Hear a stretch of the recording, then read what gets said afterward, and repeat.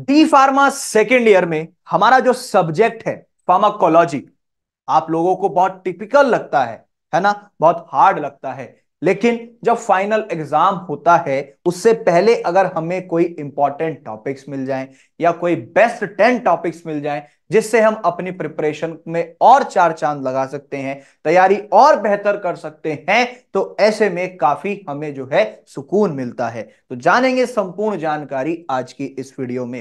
Hello everyone welcome back to pharmacy India live हमारा जो subject है डी फार्म सेकेंड ईयर में pharmacology उसके बेस्ट टेन टॉपिक्स जो आपके फाइनल एग्ज़ाम चाहे किसी भी पर्टिकुलर बोर्ड के हो या यूनिवर्सिटी लेवल के हो तो वो आप उनके माध्यम से हम अपनी तैयारी और अच्छे से कर सकते हैं। तो ऐसे कौन से बेस्ट टेन टॉपिक्स रहने वाले हैं, उन्हीं को डिस्कस करते हैं आज के इस वीडियो में। पहला जो टॉपिक रहने वाला है, वो है आपका various routes of drug administration मतलब कि आपके जो डिफरेंट रूट्स हैं मतलब कि जो अलग अलग तरीके से हम अपने शरीर के अंदर दवाइयों को भेज सकते हैं या दवाइयों को ले सकते हैं, ठीक है? डिफरेंट रूट्स जो है आपके, यानी कि लेने का तरीका जो है ड्रग्स को वो कैसा है ठीक है कौन कौन से रूट्स हैं, किस तरीके से लिया जा सकता है? ओरल रूट्स हैं हमारे बेसिकली रेक्टल रूट्स हैं, ठीक है? नेजल रूट है या वेजाइनल रूट है एटसेट्रा इंट्रावेनस है इंट्रामस्कुलर है सबक्यूटेनियस है। तो उसके रिगार्ड में आपका जो है बेसिकली पाँच नंबर का भी क्वेश्चन आ सकता है और तीन नंबर का भी।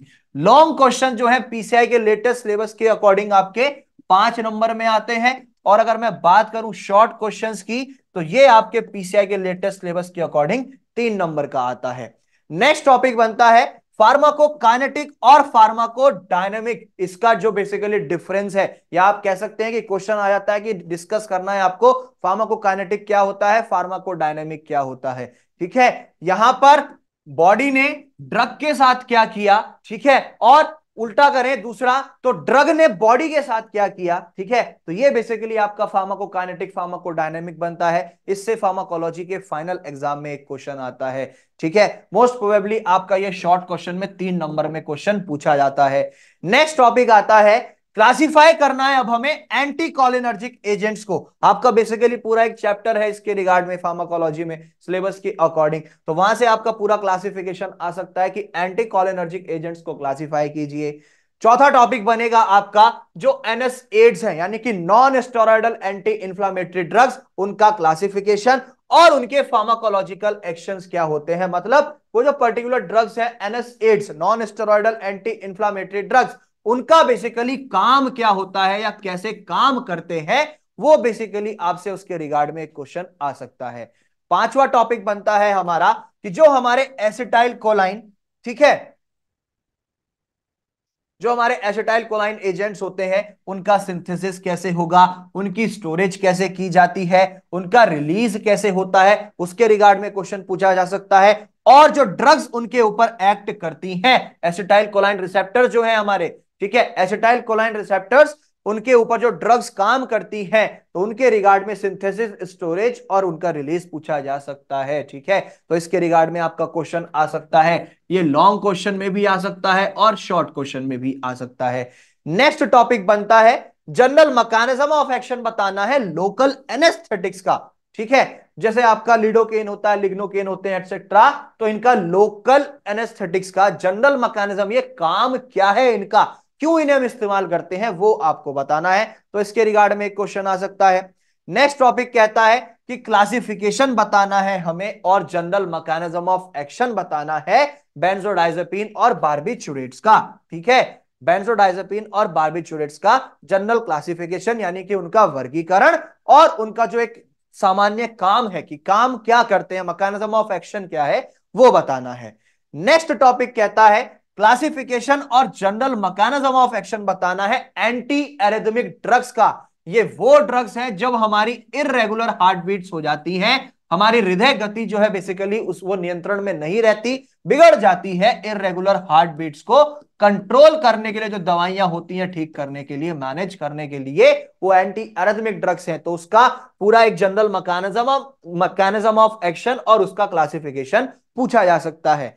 नेक्स्ट टॉपिक आता है कंजस्टिव हार्ट फेलियर क्या होता है? वो बताना है। और जो एक डिजॉक्सिन ड्रग है हमारा, उसका मैकेनिज्म ऑफ़ एक्शन वो काम कैसे करता है? उसके रिगार्ड में आपका क्वेश्चन पूछा जा सकता है। शॉर्ट क्वेश्चन तीन नंबर में इसका क्वेश्चन आपको मिलता ही मिलता है। ठीक है? और लास्ट क्वेश्चन जो रहे, और जो लास्ट टॉपिक रहेगा मकानिज्म और एडीआर क्या होते हैं? पेनिसिलिन के। अब आपके मन में आ जाएगा, ये एडीआर क्या बला आ गई? ये है बेसिकली ए से आपका होता है एडवर्स डी से होता है ड्रग और आर से होता है रिएक्शन ठीक है? एडवर्स ड्रग रिएक्शन तो ये आपका बेसिकली क्या कहलाता है? तो ये आपका एडीआर की फुल फॉर्म होती है एडवर्स ड्रग रिएक्शन तो इससे आपका बेसिकली पाँच नंबर का क्वेश्चन बनता है।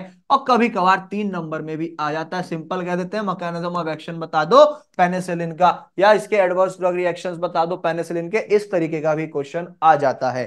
तो ये थे बेस्ट टेन टॉपिक्स फार्माकोलॉजी के लिए, जो डी फार्म सेकेंड ईयर में हमारा सब्जेक्ट है। फाइनल एग्ज़ाम्स की प्रिपरेशन के लिए, जो हम अच्छे से स्कोर कर पाए, अच्छे नंबर ला पाए, उसके लिए ये बेस्ट टेन टॉपिक्स रहने वाले हैं। आप एग्ज़ाम से पहले इनको कवर अप करते हैं तो काफ़ी अच्छे मार्क्स आप गेन कर लेंगे। आप डी फार्मा सेकेंड ईयर में है, अभी तक डाउनलोड नहीं किया pharmacy India mobile app download कीजिए गूगल प्ले स्टोर से। उसके माध्यम से आप हार्ड कॉपी में स्टडी मटेरियल को ऑर्डर कर सकते हैं, चाहे वो आपके नोट्स हो या फिर वो आपके मॉडल पेपर्स हो। मॉडल पेपर्स के आपके सिट सेक्स के सिट सिक्स सेट का मॉड्यूल मिलेगा, क्योंकि छह सब्जेक्ट हैं डी फार्म सेकेंड ईयर में। हर एक सब्जेक्ट का एक मॉड्यूल है और हर मॉड्यूल के अंदर तीन सेट का पेपर मिलेगा आपको, जो हिंदी और इंग्लिश यानी कि बायलिंगुअल लैंग्वेज में सॉल्व किया गया है, बहुत ही सरल और आसान भाषा में। साथ ही साथ वहाँ पर जब आप सर्च करते हैं डी फार्म सेकेंड ईयर तो वहाँ पे आपको टॉपिक वाइज नोट्स मिल जाएँगे पीसीआई के लेटेस्ट सिलेबस के अकॉर्डिंग वीडियो लेक्चर्स मिल जाएँगे बायलिंगुअल लैंग्वेजेस में। साथ ही साथ आपको चैप्टर वाइज मॉडल पेपर्स मिल जाएँगे। यूनिवर्सिटीज या आप किसी पर्टिकुलर बोर्ड्स के आपको प्रीवियस ईयर पेपर्स भी मिल जाएँगे, जो प्रैक्टिस क्वेश्चंस का काम करेंगे। इसकी वैलिडिटी एक साल तक रहने वाली है और जो अब इस साल से आपका जुलाई, सितंबर के बीच में आप डी फार्म सेकेंड ईयर में पास आउट होंगे इस साल तो आपको एग्जिट एग्ज़ाम देना होगा। पीसीआई ने जो अब लागू कर दिया है है ना? तो उसकी गाइडेंस भी आपको यहाँ पर मिलती रहेगी। ठीक है बच्चा लोग? आप हमारे साथ वेरियस प्लेटफॉर्म्स के थ्रू जुड़ सकते हैं। सब्सक्राइब कीजिए pharmacy India live YouTube channel इसके माध्यम से आप हमारे साथ जुड़ सकते हैं। मोर अमेजिंग वीडियोस इसी तरीके की अमेजिंग वीडियोस आपको मिलती रहेंगी।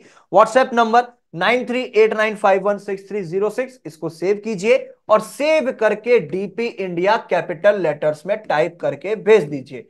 आप तक लेटेस्ट डी फार्मा अपडेट्स मिलते रहेंगे और साथ ही साथ आपको यहाँ पर एग्जिट एग्ज़ाम से संबंधित हर एक जानकारी प्राप्त होती रहेगी। सामने स्क्रीन पर आपको एक क्यूआर कोड दिख रहा होगा। इसको स्कैन करके आप हमारे टेलीग्राम चैनल के थ्रू जुड़ सकते हैं। यहाँ पर भी आपको लेटेस्ट अपडेट्स मिलते रहेंगे और आपको इन सभी प्लेटफॉर्म्स के, यानी कि इंस्टाग्राम टेलीग्राम व्हाट्सएप और यूट्यूब चैनल इन सब के लिंक्स नीचे डिस्क्रिप्शन में दिए गए हैं। इनके माध्यम से आप हमें फॉलो कर सकते हैं। इसी तरीके की मोर अमेजिंग वीडियोस के लिए बने रहिए फार्मेसी इंडिया लाइव के साथ।